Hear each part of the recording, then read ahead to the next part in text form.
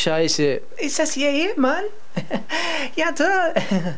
D dies meinte sehr Ehemann. Den, Der einzige Ehefrau heißt das. Du bist so doof. Oh, oh, oh, oh.